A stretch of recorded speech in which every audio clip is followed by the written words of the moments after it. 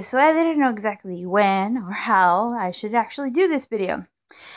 So these are my freebie stocks. Yes, I am stocking, I am starting a stockpile with free stuff. And there are a few things here that I've gotten in my mail, and I don't want to show my address, so I will try my best not to show it. Yeah, these are a few things that are there. Like, uh, this is pads, more pads, pads.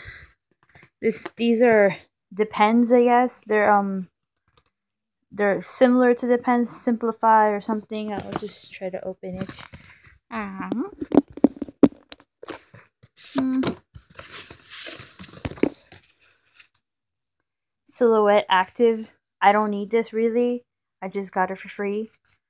And I was just like, in case I need it eventually. This is from Target. It's uh pads.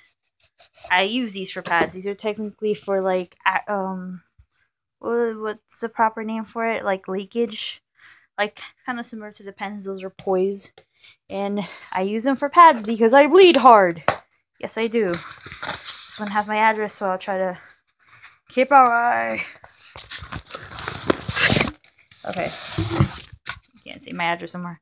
So this is Tena.